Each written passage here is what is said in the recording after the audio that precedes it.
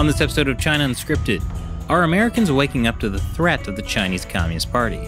And why we don't need to decouple from China, but we do need to disentangle from China. Welcome to China Unscripted. I'm Chris Chappell. I'm Shelley Zhang. And I'm Matt Gnaizda. And joining us today is David Stilwell. He's the former Assistant Secretary of State for the Bureau of East Asian and Pacific Affairs. He also served in the Air Force for 35 years, including as the defense attache at the U.S. Embassy in Beijing. And he's also been the director of the China Strategic Focus Group at U.S. Indo Pacific Command. So, David, thank you so much for joining us today. I'm glad to be here. I'm a big admirer of your work. Oh, thank you so much. Well, I liked I liked a lot of how the China U.S. China policy changed when uh, you were you were the Assistant Secretary of State. Actually, one uh, one thing I want to ask about is when you were in that position, you talked a lot about the idea of reciprocity. What does that mean? Well, I, you know, I'm a career military guy and didn't know anything about diplomacy uh, until I went to Bolling Air Force Base in Maryland, uh, where they hold the Joint Military Attaché School. And what they told me is that, you know, in your past life, your weapons were bullets and bombs and things that blow up. In your new life as a diplomat, you have two weapons, and those are whiskey and words. and the only way you can get the other side to, you know, live up to its commitments and to treat you with respect is through transactional reciprocal treatment. If you deny me this, I deny you that. This is the fundamental basis of, of diplomacy. What about honey traps? Uh, well, okay, that's that's a different um, animal. Let, us talk about white world uh, diplomacy, not the rest of that. Um, but so you know, if our diplomats are being being treated badly in China, then we should, in theory, return the favor. Um, but we haven't. We've always made excuses to say, you know, we, we if you treat China like an enemy, they'll become one. I mean, all these just trite, unthought, um, you know. Uh, aphorism. So, well, we, we know that doesn't work because China has treated us like an enemy and we haven't become one. They call us the enemy. They go, they openly call us, and you know, in amongst themselves, the enemy. And uh, and so one of the things we want to do is just simply get away from that idea that that you know we need to cooperate more, and we need to meet them where they're at, and and and we did uh, to some effect. That uh, it needed a little more time to to come to complete fruition but I do think we made some some ground. Um, you, I, I, defer to you. You probably know better. You, you're you're more objective than I am. Well, I'm curious what you saw. Where do you think the idea that like, oh, we we we can't treat China as an enemy or they'll become an enemy? Where did that obviously bogus notion come from? Why was it so entrenched for so long? There's um, a long list, and I don't want to embarrass anyone, but there's just a long list of people who take a uh, one-sided view to this, and what worked in Europe they thought would work in in elsewhere. The other part of that, though, is what we're seeing today in academia and other places. Is that once I mean the virology, the Wuhan Institute of Virology story. So many people went down record early on saying it couldn't possibly have been the virology lab. Um, that they risk embarrassment by reversing themselves. no one wants to admit they were wrong, right? Because your credibility in the future suffers. And I think that's also the case, you know. And there is so much hope with uh, all these these uh, discussions and conversations and dialogues that we had. SNED, DNSD, I mean, alphabet soup, hundreds. I think there were 150 different dialogues like that. Produced nothing, but nobody wanted to admit it because they had hung their reputation, their credibility on the fact that I'm having these meetings with China. You're talking about dialogues between the U.S. government and the Chinese government. Official track one. Mm-hmm. So, how did China responded to you talking about this reciprocity? Um, well, you saw the Global Times and others, um, you know, both professional and personal attacks uh, on that. Uh, I do say though that you know one of my mottos was we have to speak to them in a language they understand. Uh, I think for the longest time they were wondering when we would actually wake up. I mean, there's there's some some confusion as to what what are the Americans doing there was this, I think, a fear that there was something happening below the waterline they weren't aware of, which was the only explanation for the Americans continuing to give away the store the way they were. Uh, eh, so I would say some confusion, but in some ways there was also a sense of relief that okay, now we're actually having a conversation on a level uh, field that we both understand. Um, and uh, you know the dialogue it, it didn't open up but the fact is that we didn't keep coming to them begging them to talk to us and and, and asking uh, to be nice to us. We basically said we have an issue here. We have offered to talk. You haven't taken it seriously. So we're just going to wait patiently until you are ready to talk. And when you are we'll be happy to come uh, have a conversation. And those two opportunities happened in august of 2019 and june of 2020 when uh, yang jiechi came to the us to uh, meet you know, officially with uh, uh, Secretary of State Pompeo. And now it's just us, you know, being patient and waiting for them until they reach the point where they're ready to talk. Boy, I'm, I'm now thinking about some more recent U.S. China meetings with uh, Yang Jiechi. It was didn't didn't quite go so like the, well. The Alaska meeting. I'm thinking that, yeah. yeah. You know, I'm not going to be critical of, of, the current folks. They're going about it in a way they think uh, is right. And if you've seen, they have continued the Trump uh, administration policies almost verbatim. So they see the value in that, and they are executing it. I think in, in you know in a way they find um, helpful to themselves. Uh, and there's a learning curve there. So I'll, I'll just leave it at that. Um, but here's the deal: you can't want dialogue too much. You, you, the other, if the other side doesn't want it, it's like anything. Look, when I went to Beijing as defense attaché, I, I went during the ardent suitor uh, period, where I'm the high school uh, pimply faced nerd trying to get the beautiful cheerleader to go out with me. And so I'm endlessly saying, oh, please, please, please, offering gifts, anything to talk to me. And what's her incentive to do that? Nothing. Um, so uh, we played ardent suitor for a long time and then finally said, you know what, uh, this doesn't work. I gave a speech at CSIS in December of 19 on this topic. It was about 40 years of trying to win China over. If we'd quit too soon, uh, you know, we'd have been justifiably uh, self-critical of maybe not giving it enough try. 40 years uh, of trying, I think, was sufficient. And nobody could blame us of being, you know, hair trigger on this, of, of going too soon. We, I think, I think the previous administrations, rightly, I was part of that, said we need to give them every opportunity and we need to get at the uh, other voices and factions maybe inside China who understand the benefit of having these uh, cooperative sort of uh, engagements. But after 40 years, it was time to throw up our hands and say they don't want it. They're not going to, no matter how much we beg, they're not going to join us. So now we're going to meet them uh, where they are. And, and that's where we're at now. Did you have a moment that changed your mind about how the U.S. was approaching China? I did. Um, when I was defense attaché, I, you know, not, not knowing any better, I went to the PRC and my folks told me that uh, we really have no way of, you know, like emergency hotline phone calls. We don't have a phone number. They're very protective uh, of being seen, perhaps as you know, traitorous activity of having these private conversations with the Americans. So they don't have no conversation at all. And some of my subordinates did have um, maybe some contact with their their partners, but I personally, as a defense attaché, uh, had no direct contact with anybody on the on the Chinese side all communications happened via fax. In Beijing, you had to fax them.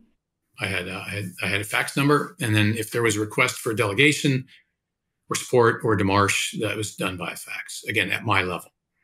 So I was in I was in DC talking to my counterpart, a guy named Xu Nangfeng, and I said, uh, "How's it work for you?" He goes, and you know, he he would, and I knew he was making calls to anybody in the U.S. government or in PACOM or anywhere, setting up lunches, having conversations. So I said, How is this fair in terms of reciprocity and otherwise? How is it fair that I am cut off completely and you have full access? And he kind of smirked. He didn't smile. He kind of grinned and he goes, Well, it's not our system. Our system doesn't allow us to you know, give you full access to us. Your system allows us that. And of course, we're going to take advantage of that. So that was the beginning of understanding just how out of balance this relationship was and how necessary it was to um, insist that you know they talk about mutual benefit, mutual respect, and win-win outcomes in this Xinxing Daguo Guanxi, you know, the new type great power competition.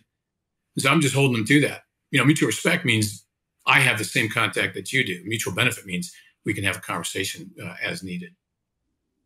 You know, there's been a lot of criticism of reciprocity, as in, you know, well, shouldn't the U.S. be taking the high road? You know, just because the Chinese government is petty about certain things or you know shouldn't the us be treating them better because we're a you know we're better we have the better system we should be treating them better or you know things like uh, if you do this, then you're actually limiting U.S. access to China in an unhelpful way, like getting our uh, U.S. media kicked out of China. What would you say to that? I say we tried all that stuff. Yeah, you. It, well, Einstein says what insanity is trying the same thing over and over again, hoping for a different outcome. Um, we tried it. We tried everything, and uh, eventually, you have to go with what works. And uh, when all else fails, you you know you're reduced level by level by level to the most basic. And the most basic is you get one reporter, we get one reporter. You get one reporter like that. So um, as far as media being kicked out, uh, we didn't kick them out. Uh, we actually took a very, uh, I think, a benevolent approach in simply naming organizations whose job was to transmit to American people messages from the Chinese government. That's a foreign mission. That is not a legitimate media outlet, right? Xinhua, CCTV, CGTN, and the rest. Uh, and just identifying from what they really are is, you know, they're mouthpieces of the Chinese government. You know, one of the questions I asked is show me a single byline from your Xinhua reporters here. Show me a single byline back in Beijing that reports on what's going on in the US. And you can't show me any because remember, their, their job is to take information from Beijing propaganda department and funnel it into the American media for American people to digest quite effectively, by the way. China Daily inserts and all that stuff, people unconsciously or sometimes consciously repeat back the, the propaganda lines on that. So, yes, we would love to operate in, a much higher plane, um, but we're not allowed to do that. Finally, um, we did remove 60 journalists, so called journalists, back, um, I think, March, April of last year. Uh, and they, of course, responded by decrementing our 50 down to 30 or whatever it was the way this is going was going to end up is it was going to go to zero. And then, like I said, we were going to go back to true reciprocity. You let one American in, we'll let a Chinese reporter in, like that, and build it back up because it's already out of whack, right? There's no way we're going to win this this decrement war because we get to zero well before they did. So, you know, eventually we're just have to like start from scratch. Do you think it's challenging to communicate this to other politicians or even to the American public? As as you said, China has been very successful at propagandizing the American public. Um, like if people don't go through the experience of like having to fax an official, how do you how do you change the dialogue so that uh, you know the American people understand like this is an unfair relationship that they don't just see oh why is the U.S. treating Chinese media like that? Well, first off, we can't become them. We have to stay true to our values, and you know media freedom and all those things are those? It's a very frustrating question because I've been asking myself that uh, a long time. A couple of things we tried that didn't really take off well because of the pandemic was there's a program called Hometown Diplomat where we get our very you know our, our foreign service professionals to go back to their homes and then have these conversations one on one where it becomes real and personal. That was one. We we had some success in that. You know, going to the local Rotary I'll tell you what, what really works, and it's things that U.S. government can't control. It's just well, we control it by uh, continuing to put the signal in the air that there's something wrong here. Uh, Enes Kanter, the Boston Celtics uh, center, going off on Uyghur uh, you know, slave labor, you know, oppression, locking them up, killing them on his shoes. That's making it real too. I use my kids as a barometer, and you know, if they're telling me that they're seeing something, then I know it's working. It's getting down to the the level of you know everyday Americans who really can't be expected to be worried about foreign policy and those things, right? They're, they, have got other things to do. That that's kind of our job, take it off their plate. But how do you make it real to the American people? You you eventually it has to come out in in you know uh, you know just public media, normal media conversations. And on the subject of media, uh, you know, we talk about political warfare and the PRC's efforts to divide and conquer inside the U.S. And if you watch the media eh, over the years, it is definitely split and bifurcated where you have entirely different sets of facts.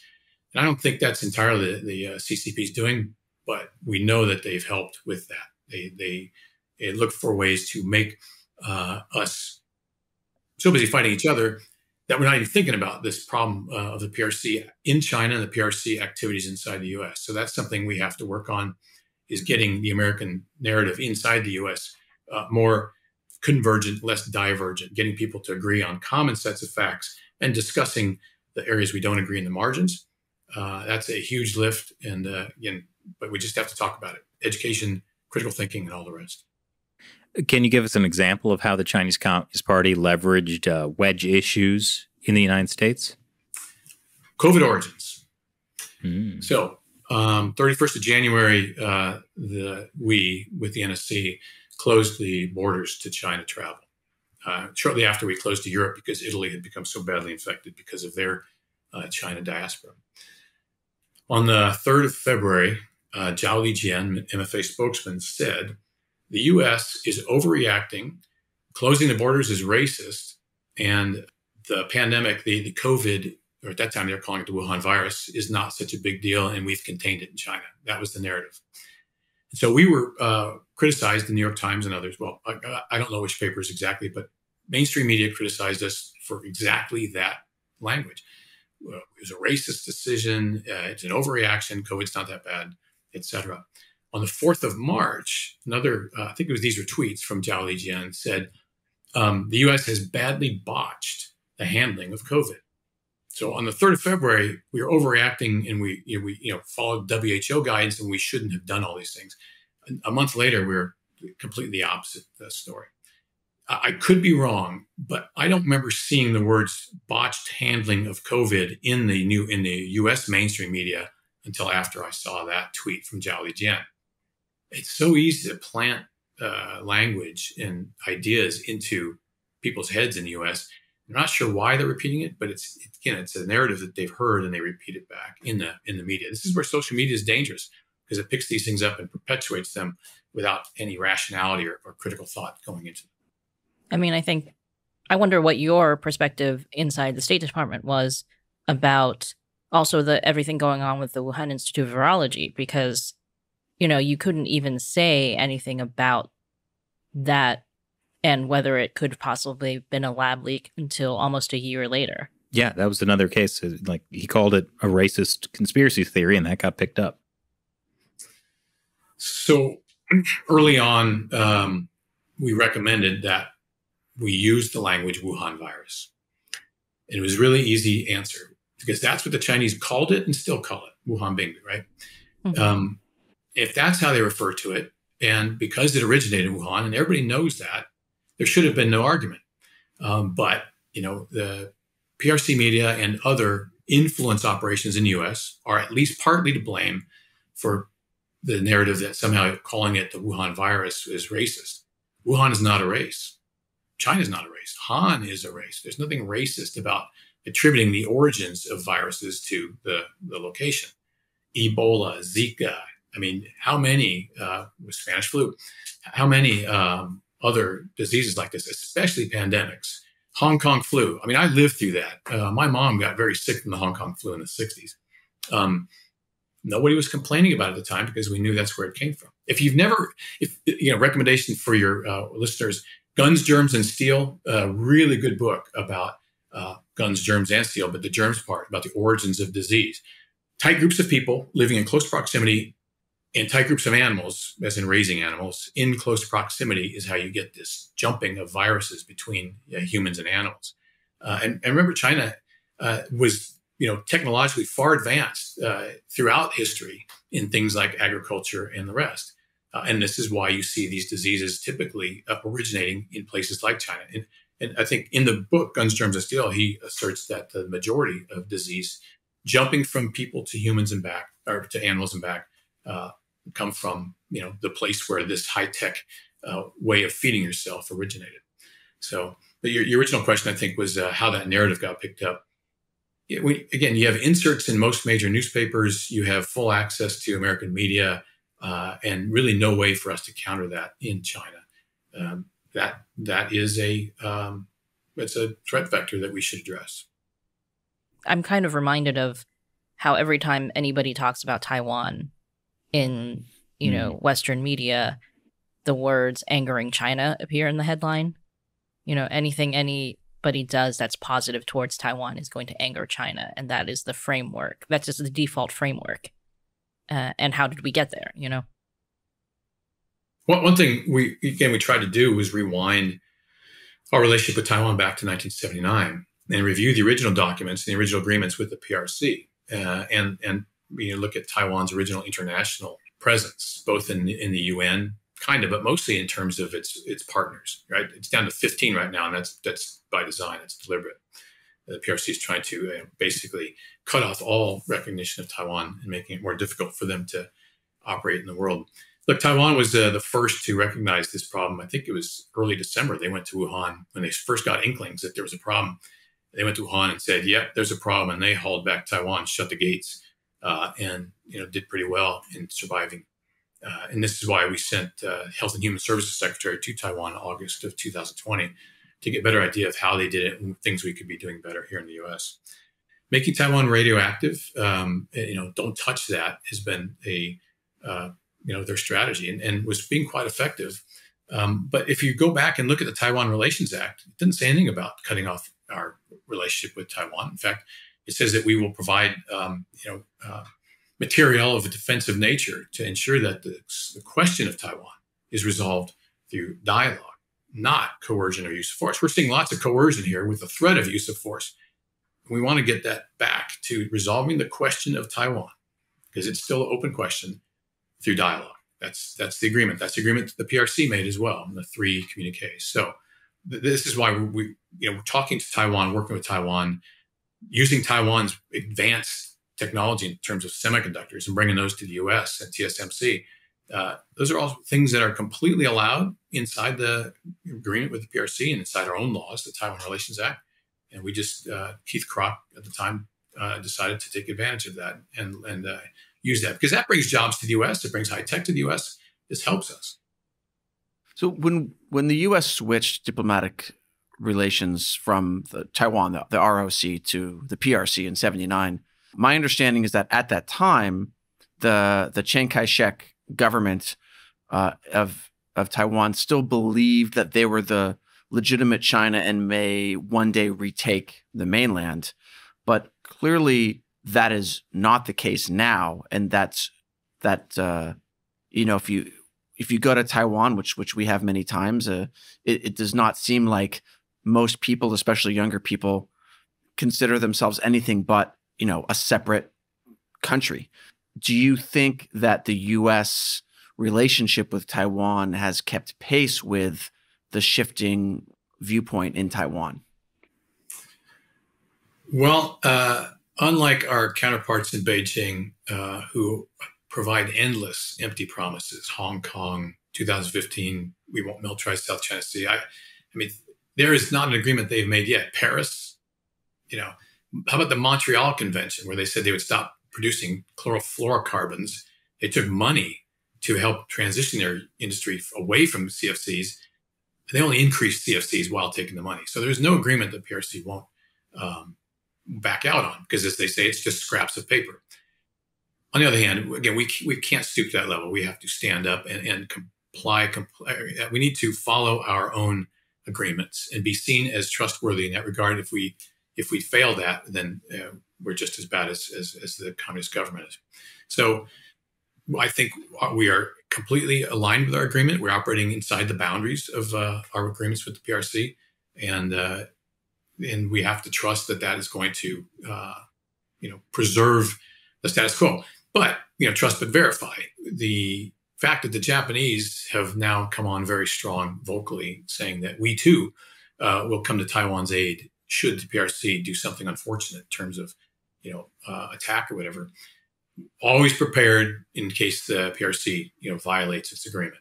That's a deterrent. And uh, again, I was so happy to hear the Japanese side uh, come on board uh, in the in, in, alongside the U.S. And there are others who are doing the same. I mean, you're actually seeing the uh, the EU and NATO also recognizing that we need to, you know, all stand up uh, together on this, or it could get much worse in, in an effort to deter.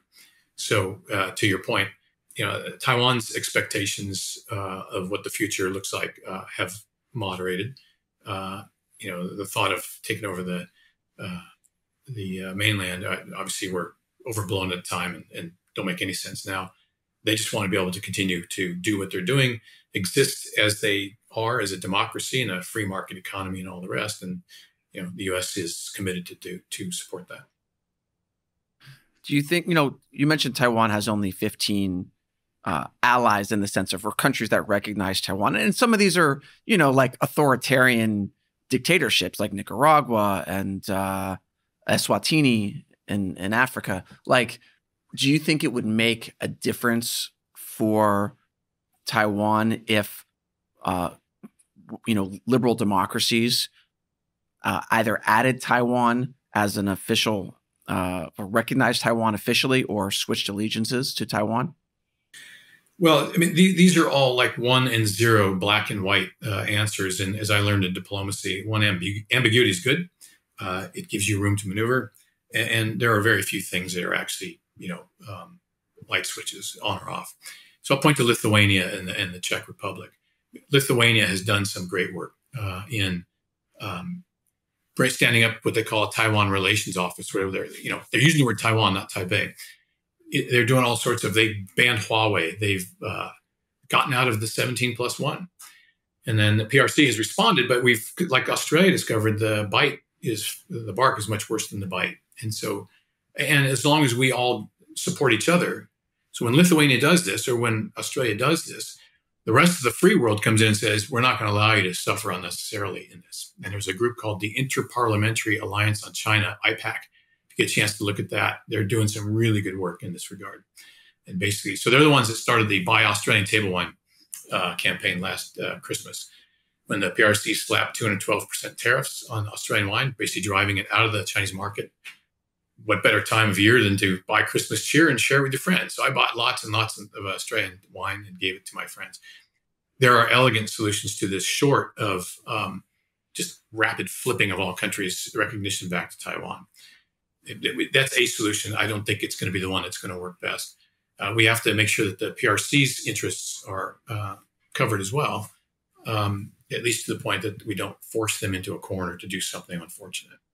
Um, but look, the one thing we have that unfortunately the other side doesn't is we got free free uh, share of expression of ideas and and some really elegant solutions are possible in, in this regard, and we've seen them already. IPAC being one the trouble with authoritarianism is you can't really allow too much innovation and creative thinking because always the question becomes why is the Communist Party the only party that can run China? I mean, that's just an obvious question. And you start getting in trouble. And this is why innovation, creativity are hard to do in the PRC because you quickly get into trouble.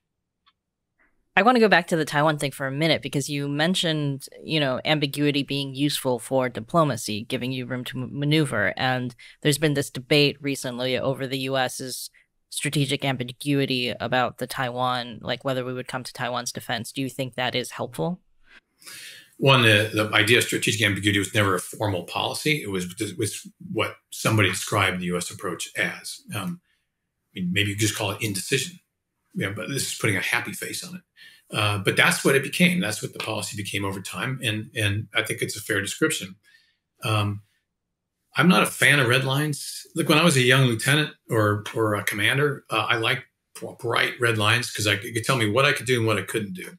Um, but at this level, you, you, you, don't want to force yourself. I, I, it takes me back to the Syrian red line. If you use chemical weapons on your own people, the U.S. is be forced to interact or to intervene. And then we didn't do it. And there's nothing more important, I think, in the international uh, sphere than credibility, where people know you're going to do what you say you're going to do. So I, am a Korea guy. I started off in the Korea in the, in the Acheson line and the lead into the Korean War to me are instructive here. In that, when you draw a red line, and it doesn't include Korea, but includes Japan and all these others, that incentivizes others to, you know, take unfortunate action, which we saw on June 25th, 1950. You realize in China, the war began in October, right? The Korean War started in October, which is bizarre.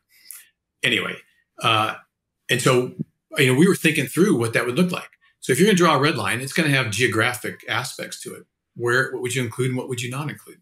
And then whatever you draw that line, we know how the PRC works. They're really good at testing. This is a, I wish we could pick up more of this, this ability, but you draw a line here and they're going to stick a toe over it. And they're going to stick two toes over it. And they're just going to see, is that too much? Is that too much? Is that too much? until they've obviated the whole thing. Think about the uh, Soviet Vietnam alliance in 1979, where the Soviets said that they would come to Vietnam's aid in case they were uh, attacked. What did the Chinese do? Well, the PLA invaded North northern Vietnam with sixty thousand people, uh, and and you know they lost badly, but they won in that they obviated and they you know put paid to this commitment by the Soviets to support Vietnam. In 1980, you had the uh, Pete Peterson, former POW, back in Vietnam, beginning to establish diplomatic relations. So, uh, you know, these are all things that, uh, other than the diplomatic relations with Vietnam, this is where red lines in, actually encourage adventure and they encourage testing. And if you're not up for the test, then you you lose. Whereas being ambiguous, the president's statement on Taiwan, which I think was that was well played, um, just makes them wonder how how dedicated, how serious are they? That doubt equals deterrence. If you're not sure of the outcome, you're going to be hesitant to to move out. These well, are also really good tips if you have like a super annoying five year old who's like putting his toe over the line a little bit more, a little bit more, right? That ambiguity can actually make a, a big difference. I hesitate to use that analogy, but I, I, I feel the exact same way. And you maybe have a five year old. I had teenagers, and it's even more uh, at that level. So they're smarter. Teenagers are all about psychological warfare. But it's interesting what you're saying about red lines because it makes me think China drew a red line about having the, the U.S. stationing troops in Taiwan. Well, what did the U.S. do? Well, there there are troops in Taiwan. They're training. They're not stationed there. They're just you know there. And it's it's actually sort of seems like the U.S. in a way kind of testing China's red line. You know, we've played this well for the longest time. You know, we had what we called salami slice tactics in the South China Sea and other places. And our response, you know, in the past was fairly anemic. Um, well, now we are playing the game in reverse. We're and and I don't think it's necessarily intentional. I just think it's the U.S. standing up and going, "Wait a sec, why are we doing this? This is not what we agreed to, and this isn't in our interest, and and it's completely legitimate that we, uh, um, you know, work with uh, Taiwan to ensure that the materials of a defensive nature that they can use them effectively." So F-16 unit training in, in uh, Phoenix, Arizona. You know, that's nobody complains about that. It's very necessary uh, because again, we, we, have the weather and the capability to, to teach. Um, I, I, won't spend a lot of time talking about the um, deployments uh, to to Taiwan to train uh, at the lower level. I'll point out though that Singapore does it, and lots of other countries do it as well. Remember, Singapore was shipping some of its uh, jeeps and stuff back. They went through Hong Kong, and the, and the Chinese seized them uh, and then made a big public uh, kerfuffle, which brings to light uh, yet another consideration in diplomacy is you have to make a very clear decision about whether you're going to make this public or whether you're going to keep it private. If you keep it private, you're going to get a different reaction than if you make it public. If you rub their part, the party's face in it, and you challenge their legitimacy, you're going to get a different reaction. To say you don't do it, just think about it before you, you do. And then since we were talking about uh, red lines and, and, you know, commitments in the South China Sea. You know, we changed in July of last year. We changed American South China Sea policy. Uh, it was a year-long process to do this, and we said that the U.S. no longer rec- does not recognize. We're no longer um, ambiguous. We no longer recognize the nine dash line claim. Instead, we, like the 2016 United Nations Command, uh, Convention on Law of the Sea uh, Award said, that China's excessive maritime maritime claims are not supported in international law and therefore are invalid. So the U.S. policy today is that we don't recognize the nine dash lines, nine dash line. Uh, what I learned is policy is really ineffective if people aren't talking about it. If you put it out there but you don't follow up on it, then it, it you know it doesn't really exist. So anywhere I can, I encourage people to re- re- remind ourselves that that is the U.S. policy. And Philippines, Indonesia, Brunei, Malaysia, Vietnam, others should uh, be grateful for that. Not grateful, they should take advantage of that. Well, I know for, for the longest time, Chinese officials were like, you know, you, you human rights as an example. You can talk to us about human rights, but behind closed doors. We don't have to make it public. So it seems like that's where you can really nail them. Well, that works until you're not getting any headway or traction. And where, you know, as we saw in Xinjiang and Tibet and other places, you know, those violations are getting just too much to bear. And so, uh, and here's the other thing we talk about dialogue. If they don't come to the table to talk, what are you left with? And if you're going to make sure that your message is heard, but they're not, you know, and you have no way of communicating it privately, then you're only left with one option. It's what the PRC calls megaphone diplomacy, is where you actually have those uh, those conversations in the public space. A couple examples. In September of 2019, on the side of uh, United Nations General Assembly, we hosted, I think, 30 countries. It was something like that. And, and four Uyghur survivors of the camps and the abuse in Xinjiang. I think you guys have been there. I've been there, seen it. Um, and this was a very public statement of support from democratic and, and you know the free world saying we're aware of what you're doing and we're going to publicize it and we sh- you know you should probably stop doing it uh, uh, did it have an effect i think you saw something about the vocation the vocational training camps so-called uh, were maybe drawn down a bit but then they took those the uyghur you know um, trainees if you want to use that word and they shipped them out across industry in China, and they were then used as slave labor to make Nike shoes and a bunch of other things. So uh, they just went from one form of bad to another form of bad. So uh, you got to make it public, and uh, you can get a response, and and then you can get if you get a response, uh, that at least is a progress. The actual pro- response in the human rights area would be to sit down and have a conversation, but short of that, you know, having this conversation in the public space is helpful too you know, is that why the, you know, State Department and other under the Trump administration, you guys really talked a lot more about China human rights violations than publicly than a lot of other previous administrations talking, you know, calling it a genocide in Xinjiang or actually the Commerce Department actually sanctioning Chinese officials for human rights violations. Is that part of what you're talking about? I don't want to make this political, um, but I'll just say that the treatment of the uh, you know Trump foreign policy, which I could speak to in the media, uh, uh, was not completely fair. Uh, the, the, I mean, you, you know the, the, the reputation that the president himself had, but I think we stood up more for human rights than I remember in the Obama administration when I was there, or in the Bush administration. We were actually very vocal about these things. It's because that's who we are. Uh, I would prefer to have conversations about human rights and other things in private, right? It's a simple leadership uh, adage is you criticize in private and you praise in public. And this is how you encourage better behavior. But when that conversation in private doesn't work any longer, then you have to make it public. So does that mean we weren't having public or private conversations with PRC on human rights? No, that was part of our talking points all along. But again, there comes a point where you're not getting action and this thing is becoming intolerable. I mean, genocide.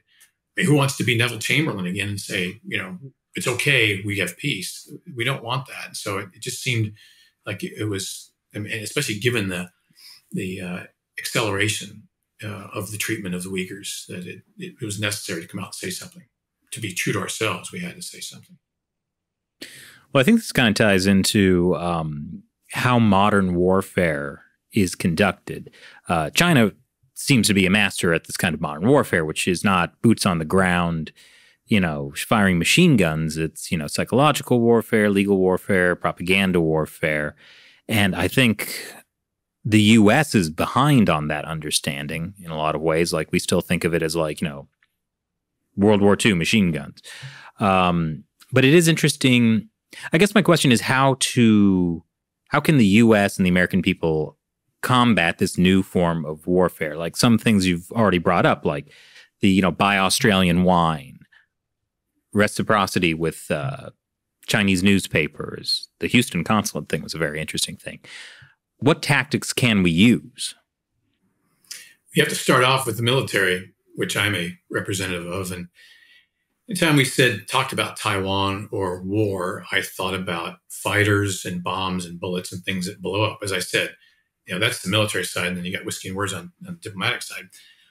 But the warfare in the in the PRC sense, in the uh, Sun Tzu, Sun Tzu sense, uh, this book actually captures it quite well. Um, warfare is broad spectrum. It, you know, it, Clausewitz, you know, German philosopher, said that war is an extension of politics, which gives this impression that it's diplomats, diplomats, diplomats. Boom, we're going to war. No more diplomacy. It's combat, right? That's an unfortunate characterization because when we think about war, we just think about active shooting. The PRC looks at it much differently. They look at war as a spectrum. Uh, it's economic warfare. We know that's been going on as we, you know, IPR theft and all those other things. There's There's political warfare. Is you know uh, sowing doubt and, and, friction between two political parties and and and two worldviews. Um, there's information warfare, as I mentioned, Xinhua, you know, Chinese media inside the U.S. actively putting out narratives that support the Chinese position, undermining narratives that support uh, our own. And it's crossed the what you know the military calls it dime field: diplomatic, information, military, economic, and then the F is uh, finance, uh, information, not intelligence, and then L is lawfare. Uh, what we did in 2016 uh, is lawfare. We used the law to advance American interests. So, what I would say about educating the American people on war is the PRC has been actively at war with us since 1950. Uh, look at their internal language description of the U.S., and they refer to us as the enemy. They have always referred to us as the enemy. So we're trying to cooperate. They're treating us as the enemy. It's a lopsided relationship, and it's defined by the most negative. And the most negative in this case is the adversarial, the enemy. So we need to meet them um, there. How do we make this real to Americans? Examples. This is where Enes Kanter uh, gets to the, uh, you know, my kids level. It gets to the level of the average American citizen. Say, why is he making so much fuss about the Uyghurs? And then they start listening more and more to conversations about them. Maybe they do research for themselves. Um, other things you could talk about is uh, school boards. Uh, the PRC uh, attempts to skew uh, what your students learn or what you're allowed to say through Confucius Institutes and through active involvement uh, in, and through finance and bribes and travel to school boards. There's a congressman, uh, I'll let him tell the story, who says, you know, his wife is on the school board in a town of 100,000 people. And the PRC consulate came to her and offered a all expense paid trip to the PRC. I mean, that's that's warfare. That's information warfare. Uh, and we have to get more savvy to that. Uh, it's different than it was. I hadn't heard that about school boards being, you know, invited on these junkets to China. I mean, like what the the school board. I mean, is that is that just to get school boards to be willing to accept a Confucius Institute, or do they have other like agenda items for you know what goes in American curriculum when with respect to China policy? Or I mean, what could that even be for? Back to the statement that the Chinese have been at war all along. They see uh, you, our democratic, and we, are the leader of this, not just us, it's all democratic and free market systems, are a direct threat to the rehash of communism. Communism died in 1991, and they're trying to resuscitate it and say that authoritarian government under Marxist Leninist rules is the future and that everybody should allow it to happen. And in fact, we encourage it. So, if you're thinking about this as a long-term uh, strategic, you know, um, uh, prolonged battle, uh, this makes perfect sense. This is an investment. This is cheap. You know, this is five thousand bucks uh, that you invest in these individual people, and, and, I was always amazed at how much value the PRC side puts into banquets. You know, when food scarcity is a constant in your history, a sumptuous banquet is a very uh, impressive thing, complete with ornate table decorations and the PLA singers and dancers and all that stuff that we enjoyed uh, while I was there.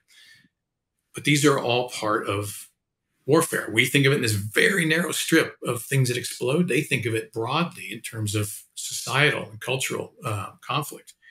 So taking people to the PRC to uh, show them and win them over and make them, you know, amenable to your position, or just so you say nice things in classrooms and in meetings, that's a great investment. Compared to the cost of a single missile or an aircraft carrier, it's infinitesimally small and it works. What kind of gets me about the way that the Chinese Communist Party does it is that you would expect them to do it for leaders on a national or international scale. Or, for example, we're in New York City. Uh, the new mayor elect, Eric Adams, he's been Brooklyn Borough president for a number of years. And as Brooklyn Borough president, he traveled to China seven times on these junkets. And one of the things that, you know, he tried to do is get this Chinese friendship arch built in Brooklyn, uh, and it never went through. But you can see, you know, you can see the objective, right, for the Chinese Communist Party that this guy could be, rise higher in politics in the U.S. In fact, now he's the mayor, going to be the mayor of New York City, and mayors and, of New York have run for president. Right. So it makes sense to cultivate somebody like Eric Adams, but a random school board member in small town America it's still important enough for them to do that. They call this in the spy world. They call this assessing. Just looking around at people who have the potential for pick, pick an activity, and they've got free run of the country, and so they're out as they should be. Back to reciprocity, American diplomats are severely uh, restricted to who you can meet with and, and where you can travel uh, in China. And if you just, you know, Americans are all about fairness. It's amazing how we really put great stock in fairness. And then if you can make this more public to the American people, that our diplomats in, in, the PRC have are basically locked down while there's run amok in our country, think Americans would stand up more and go, yeah, that's not fair. And you can't make them allow us to be more free inside China. They won't do that. So you're going to have to take the other way and treat them with reciprocity. But they do that. This is how they get at those people. The mayor, this is how they get the school boards, is because they have the free run of the U.S. Uh, and we have to stay true to who we are, and we really can't squash that. Uh, but we can. There are other ways you can get about that, addressing that problem. I'm just upset that the Chinese Communist Party has never invited us to get an all expenses paid trip to China. I don't think you want to go.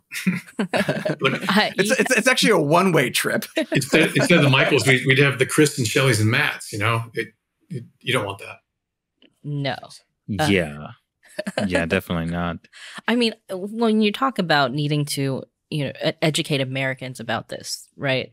About this type of warfare, isn't it kind of hard because even just using that term warfare or war is it's seen as pretty uh, inflammatory. Like we we don't really like to talk about it. We the most we can say is that we're competing with China, right? Right. It, you know, the last administration, the national security policy, you guys came out and said, you know, this is actually a great power competition. And even that was seen as like, whoa, do we want to go there? Do we want to actually call this a great power competition? And, you know, can't we just call it like a friendly economic competition or something like that? So, how do we talk about this when even saying these words is considered too much. This is why China uh, uncensored and China unscripted and all the things you do are so important. Is until this gets into the public space and they realize just how bad it is, uh, you won't get Americans to to buy into this or, or sort of support it. Um, but you know, my experience has been uh, I, I, speak uh, in public events uh, quite frequently, and and they're actually not so afraid of, of the thought that there is we're back to a Cold War setting, uh, which we are. I mean, that, I did an op-ed back in the spring on the, the new Cold War. It's similar to the last one. It's existential and it's ideological. Then you got the whole fact that they're in our country and, and we've got and they've got entire swaths of Wall Street and others, uh, you know, touting their line. It's going to be more complicated than the last one, but obviously we, we, we can think our way through this one um, yes, you got to get the American people on board, but good Lord, you got to get the finance and the economic folks on board too. Um, a really good article from May of last year uh, about Saleen Motors, S A L E E N Motors.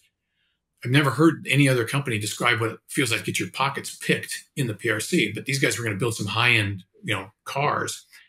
And they shared all their IPR in a joint venture, which are the rules when you go to China to get access to the Chinese market. And then they were sent away with nothing. They lost everything. In fact, they lost the trademark to Saleen Motors. So now the PRC can market Saleen, and Steve Saleen from Los Angeles is no longer able to do that. That, that was that story came out in Los Angeles Times in May of 2020. I recommend everybody have a look at that uh, to understand how it works. Why have other countries, uh, companies not, you know, said that? You look at what happened is happening to Tesla right now, and they're getting the same treatment. Uh, you got to ask why other companies aren't more vocal about that. And I think there's always this hope, this hope that they might be able to get back into the market. I mean, this this started with Lord Macartney in 1790. The, the line was, if we could sell one person from China, you know, uh, uh, uh, one shirt, the looms of Manchester would stay busy for you know for 100 years or something like that. It's this myth of the China market that continues to play um, out, and and it really is a myth. But more people need to be vocal about it. So we got to get at Wall Street, we got to get at the CEO, the boardrooms, and we need to let the China, the American people, as you're doing, understand that it's not all happy fuzzy pandas and Mulan. I mean, we've tried to warn Elon Musk, but he won't listen to us. That's true. Yeah. You said Americans need to know how bad it is. So here, here is a soapbox. How would you tell uh, your average American how bad it is in a way that they could understand? I think the Michael story, uh, and here's a question: Why is the story of the two Michaels, Spavor and Kovrig, who were held for you know two years, no charges uh, in solitary in some horrible uh, conditions. Why has that story not come out? Meng Wanzhou, as soon as she landed, the, the, the Huawei heiress, she lands in China and she tells her whole epic tale of how she survived and stared down the man. Why have we not heard from the, the Michaels? Or was there an agreement made that they would not tell just how horrible the conditions were in China? What kind of that's barbaric, right? We call that hostage diplomacy. Uh, these are stories that touch, you know, on the common person. Um, media is is the surest way to do it. There's a good documentary out there called uh, "In the Name of Confucius" that people should watch. It talks about how Confucius Institutes really work, and what their agenda really is. Uh, it's going to happen through this medium, right? Whether it's Instagram for my kids or Reddit or you know stuff that I'm not familiar with, not Twitter. Um, but we got to get the word out, um, and it's got to be people other than me telling the story. It's got to be my, my daughter's friends who go or or the like. It's got to come from people they know and trust. We got to start that TikTok channel. That's where the kids yeah. are. Yeah, you'll get punted pretty quick. Yeah. Uh, I mentioned earlier um, the the best lever the PRC has, its genius, is not actual money going into pockets. It's the promise of money going to pockets. They, there's always they always hold it out there as if you know for schools, right? uh, you, we might fund that center or give you those grants or whatever you want. I mean, they don't ever have to actually commit funds to uh, these things. It's the promise of largesse uh, from from the China market and all that stuff. I mean, and that payday never comes. That never comes. That's exactly right. Um, uh, or if it does, it comes with so many strings that you wish you hadn't made the deal. Our debt service suspension initiative, D, uh, DSSI, came out of the Paris Club It was basically looking at the, the damage that COVID has done to the global economy and the 77 poorest countries uh, who are going to suffer the most won't be able to make their debt payments uh, to the PRC on their Belt Road project stuff. And, and, that process should continue. It sort of got held up. Uh, but these are elegant ways of getting at um, this nefarious activity uh, and to expose it for what it is. Because there's a lot of African countries right now going, this is not the deal we made, right? But the the loan has non-disclosure language in it. So if they do disclose, then there's you know monetary and legal penalties. Again, all we gotta do is expose it. When people see it, they'll get it. And then everyone will see, oh, they've been doing this to all of us. Exactly. Yeah. That is very much when you were talking about holding out the promise of money, totally entirely what the Belt and Road is built on.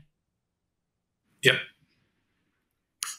And as we know, uh, the poster child for this is the China Pakistan Economic Corridor. I mean, just that one's easy. Just Google it and you'll see, you know, 15 Chinese engineers blown up on a bus here, three engineers dead here. Uh, the Pakistanis don't like it. It, it you know, it um, violates their sovereignty. And, and we've seen that PRC don't make great neighbors or, or, or guests. In Africa, you know, well, think about Libya when they evacuated Libya, uh, the non-combatant evacuation operation, 35,000 Chinese workers were in Libya. Nobody had any idea it was to that size or scale.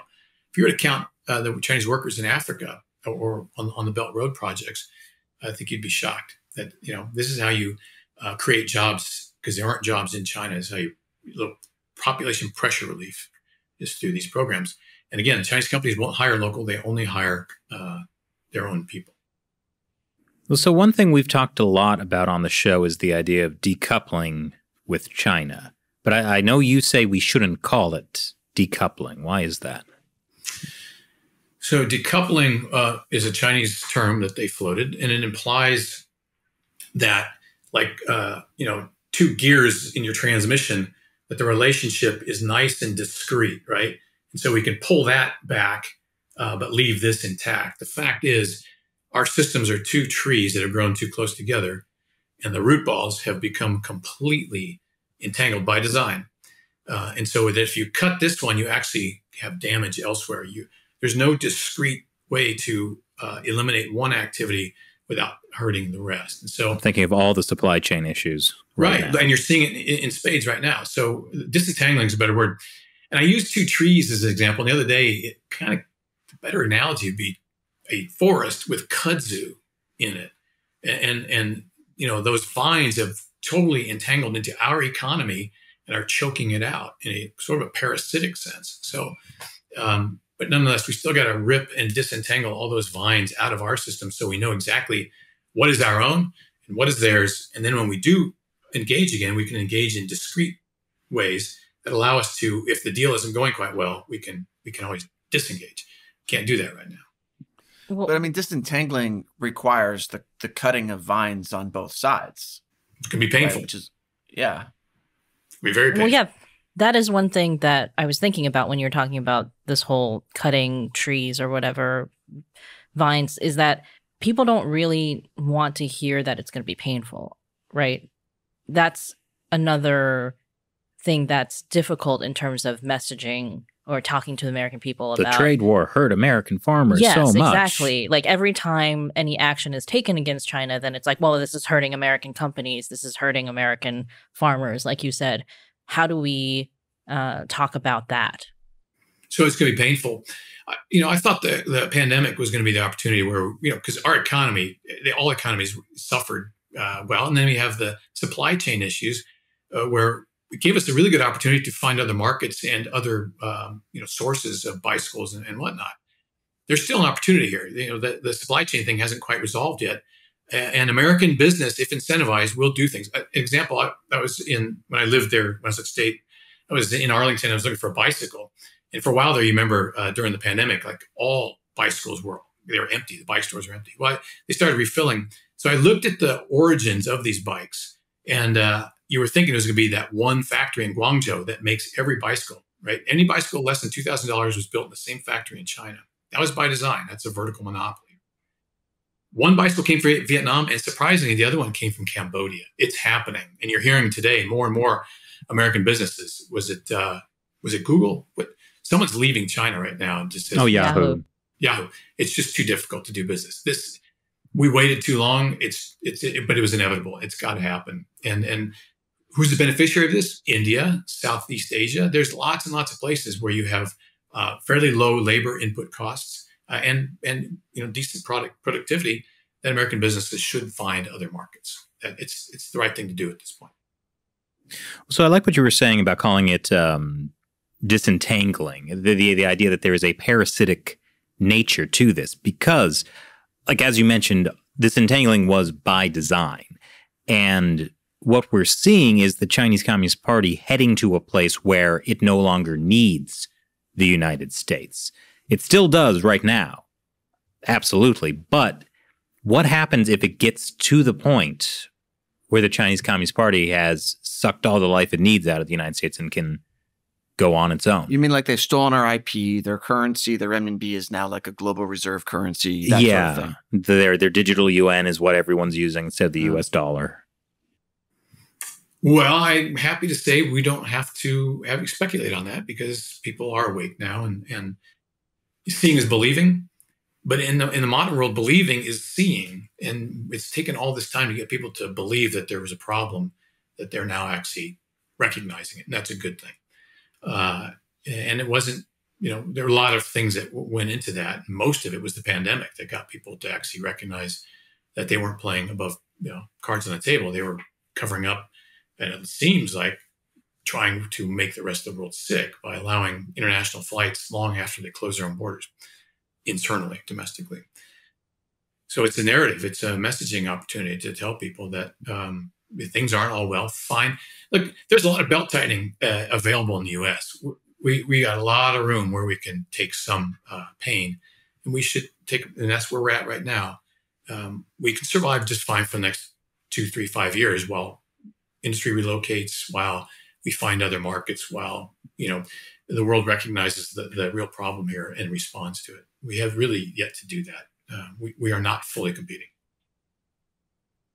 Well, I think you're right that there is cause for optimism. Like I remember when we started China Uncensored in 2012, hardly anyone was really loudly raising the alarms about the Chinese Communist Party. And now, like, you know, there's like free China memes Instagram page. Like people are John talking. Oliver did an episode about Taiwan, you know. Yeah, people are talking about it in a way that just did not happen even 10 years ago. When it's in the public space, when John Oliver is doing Panda Express, uh, that's winning, right? When when a government, you know, wonk says it, they they tune you out. But when popular media uh, and and it gets into the popular narrative, and uh, we're in good shape. I like that, you know, with Enes Kanter, he's a, you know, he's an immigrant from Turkey, right? And it's a tick, and he's the he's the American who's raised the most awareness recently. He just came out with Hong Kong shoes now. Ooh, excellent. nice. Did And- he? I haven't seen that. Yeah, Uh, that was yesterday. you know, you don't really understand your country until you've not until you lived outside of it. And this is another thing. We're very critical of ourselves, and that's good, right? We're not, you know, sitting back in our laurels. Uh, we fix things, you know, and in general, things in the U.S. continue to get better over time. We're not utopia. We never will be utopia. There will always be problems, but the fact that that that that slope of that curve or that line is positive is the, I mean, that's what you should hope for. And nobody understands that better than immigrants. Lieutenant Governor Sears in Virginia gets it. She knows what the, the hope uh, and the promise of the U.S. I would love to see Americans travel, more travel overseas and see how it is elsewhere and come back with a better perspective of what's right and wrong. Look, there's a lot wrong in this country yet, but I think we're still in a good place to address it and, and, and continue to improve and be the beacon on the hill that is, you know, that we've always been historically. As long as they don't travel to China, because the State Department back then said, uh, "Don't don't travel to China. COVID and arbitrary arrests." yeah. Be very yeah. careful. Yeah. Uh, so, you know, we talked a lot about making China real to Americans, how to talk about this in a way that gets into the public consciousness. So, when it's in the public consciousness, what can Americans do uh, to confront the challenge that's coming from the Chinese Communist Party? Well, Shelley, I'm glad you raised the Olympics. That's how you do an interview. yeah, that to me is uh, one avenue uh, where uh, you know Americans vote with their feet in their pocketbooks, and you know the sponsors of the Olympics from the U.S. side tend to have um, they stand to lose if um, Americans vote with their feet on this. Um, so th- th- it's one example of many where uh, our own media, uh, our own uh, businesses, and others can do things to shift away from Xinjiang sourced tomatoes or Xinjiang sourced cotton or China sourced labor uh, and those things. And um, I'm not a big fan of active boycotts or you know online campaigns. Uh, but I just think common sense says people should just be more aware of what's going on. Just that, just being aware uh, will shape buying decisions, travel decisions, all these other things. It's just simple awareness. It seems like a simple problem, but as you can tell, and, and I've been frustrated with, it's hard, it's really hard to get these things out into the public space. But we're there. It's been 10 years of trying, and, and it is finally starting to picking up. People believe it, and they are now seeing it. And I think uh, that's bodes well for the future in this regard. And look, I, I don't, I'm not saying we take them down, the Communist Party. We just have to moderate their behavior. We have to start acting as a normal country uh, and not somehow special or, or, or you know deserve to be treated differently. So I do wonder if that is possible with the Chinese Communist Party, since th- the communism is so focused on struggle. As you said, they've been calling us the enemy since 1950. Like, if that is your worldview, well, you know, the Biden administration has been calling it durable coexistence. I wonder if that is possible with a regime like the Chinese Communist Party. Well, they they did a pretty good job between 76 and 79, or call it 1980. Uh, there have been rectification movements to kind of snap this thing out. Of course, that requires um, changes, which would be painful. But um, you know, we were supposed to see a change here, in you know, coming up in 2022. That never happened with the uh, second term of the, the the core of the party, the people's leader. Um, you're you're hearing noises from inside China of people who are unhappy with the way things are going. The fact that the relationship with the U.S. has been so badly handled as to wake the Americans up to what's happening. So I don't, I don't think it's impossible, and I think there are enough moderate voices and and rational human beings. I mean, Liu He, uh, I think uh, the the negotiator on the trade uh, deal, I think he gets it. You know, I think there are people inside the system that get it, and uh, you saw the red roulette. You interviewed Desmond Shum on the show, and and uh, you know there are people inside China who see the problem, and uh, some here in the U.S. willing to stand up and say something. So we're back to just making people aware of the problem. Uh, does that resonate inside the PRC? Well, the fact that they held his wife at gunpoint uh, to to convince him not to publish the book tells you they're afraid of that book. So maybe these are all pressures that uh, will force them to, to, to adjust course. Well, so as we wrap up the podcast, um, it is important for viewers to educate themselves. What uh, what sources would you recommend for people to look into? I know you mentioned Kerry Gershaneck's book, uh, Political Warfare. Definitely, that's a great one. What else would you recommend, man? And the book that really made it clear to me was Silent Invasion, uh, Clive mm. Hamilton out of Australia, 2015. You know, the story of uh, the last Olympic torch marathon, 2008, through Australia, and the Chinese uh, consulate had rousted a whole bunch of students to beat up the Tibetans and others who were protesting the PRC treatment of its minorities. I mean, inside your own country, they're kind of operating, doing their own police operations. So that's the opening story in that book. I would definitely read that. And a happier book, uh, obviously, Red Roulette, you have to read. But Evan Osnos did a book called The Age of Ambition, which I thought was a fair treatment of the aspirations of the Chinese people, who we love, by the way. Um, you know, all of us have been focused on China all our lives, and and uh, you know, I, I, hope for nothing but the best for the Chinese people. But anyway, the Age of Ambition kind of speaks to their aspirations and what they want, and all the hard work that they've put into, you know, the miracle that is, you know, PRC over the last forty years. So again, our concerns more with the government. There's three books and political warfare, one more, but uh, that should hold you for a while. Well, thanks so much for joining us today, David. I, I, feel like this is one of the rare podcasts where I'm I'm I'm walking away feeling hopeful instead of crushed. I'm hopeful. That is great. That's a good way to to end the podcast, I think. And you guys are doing all the right things, so keep going. Well, thank you. And the audience can do the right thing by liking and subscribing and commenting for the algorithm. If you're watching on YouTube, otherwise, it doesn't make sense if you're on like Apple Podcast. Anyways, David, thank you so much for joining us. All right. Thank you. Well, what I got from this is that one of us needs to join the NBA. How about you, Shelley? Yeah, I think I'm the obvious choice, right? Mm-hmm. mm-hmm. it would be more uh, equitable uh, height distribution in the NBA, right? You remember Muggsy Bogues? He was five foot three, and he was an excellent player. I how, don't. How long ago was this? Oh, this would have been like the '90s. Okay. Yeah, he was on the the Warriors back when they sucked. okay. yeah, you know, I mean, I'm, it's it's good that John Oliver did his Taiwan thing. Uh huh.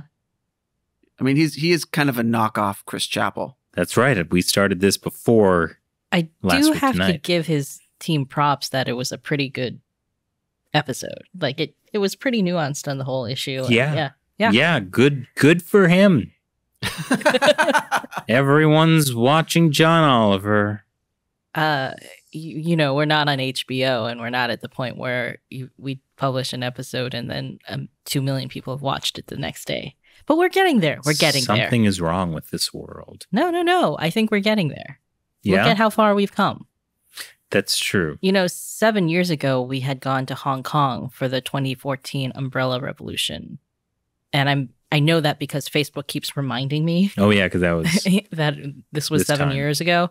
This, you know, this these two weeks, and you know how many people we had subscribed to us at that point? was it like 60 or 70? It was 66,000 subscribers. Wow. So we've come a long way. That is true. Yeah. And, uh, you know, it looks like we'll have, uh, we have some more to go, but it also looks like that the China issue is not going to go away anytime soon. That's right. But I mean, this is why we also need to diversify our content creation just in case the China situation is ever resolved. You mean tomorrow the Chinese Communist Party collapses? Well, hopefully not tomorrow, because then we're then we're out of a job. But if we can ahead of time establish some new shows that become instantly popular, uh, then we will we we will future proof ourselves. I'm thinking of doing like a makeup show. Cool, cool. Or I guess what's the next great dictator that could threaten us all? there are a lot of great dictators. I would say probably the number one that I'm concerned about is the next supreme leader of these United States, Chris Chappell. that hits very close to home for you, I know. well, uh. no, I think I don't think we are going to be out of a job anytime soon. And that is another message of hope. Well, Thanks for watching China Unscripted. I'm Chris Chappell. I'm Shelley Zhang. And I'm Matt Gnaizda. Thank you for joining us in this fight. Wait, we're in a fight? Oh no, Um, you are symbolic of 40 years of U.S. Sino policy. Wait, what? China? China? You were, this is China we're talking about? No, not China. Uh, Look, they- we can make so much money. I had a wonderful fax with the official. Is that what they're calling it nowadays? No. yeah. What? No, I started thinking about honey traps and banquets. You can't and- fax a honey trap. No, that's No. true. That's true. See, they really they've missed out on that opportunity. If you restrict US diplomats from traveling in China and you only give them, you know, fax machines, how are they going to be There's, the- there- there's this whole world of sexting that they could get U.S. officials under if they would just even allow text messaging. Yeah. What could you do with beepers? I know the only people who had beepers that I remember in the 90s were like the kids at high school who sold drugs. Uh, And there were doctors, you know, not not in my high school, but they also use beepers. All right, this is going way off track now. Yeah. Apparently, this podcast is still going on. I, I wasn't sure whether to stop it. And now I, I wish we had. uh huh. Now I've already signed off. How do we end something that's already ended but hasn't? I don't know. I guess It feels like a lot of again. relationships I've been in. Am I right? Uh, feels like a metaphor for U.S. China relations. Am I right? Uh, uh, Well, we'll be here for another 20 hours until we figure out how to end this. So I, I recommend, and this is the first time I'm going to do this, I just recommend you stop watching now. Click, click off. That's, it can end for you. We'll still be here. It's like an episode of watching uh, Chris Chappell watching paint dry. watching paint dry with Chris Chappell. Is that the name of the it's show? so That's the name boring. of the show. Chris can't even remember the name of the show. That's right. Check it out on Facebook. Yeah. Bye, everyone. That's going to be the show that future proofs us. There we go. People always need to have paint And somebody to watch it dry for them. because what if you touch it before it's dry? That's bad. That would be bad. That's why I'm there on the scene. Watching. the paint dry. I hope people have clicked away. If anyone's still watching, goodbye.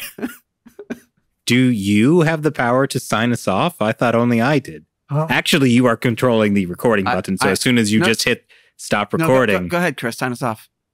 well, no, I can't because I've already done it. I know I, I don't have the power anymore. this is this is what happens when we record for too long and then we we get lost. All right. Very true. I will sign off. Goodbye, everyone. You can't sign off. You can only stop the recording. That's the only power Stop you the have. recording.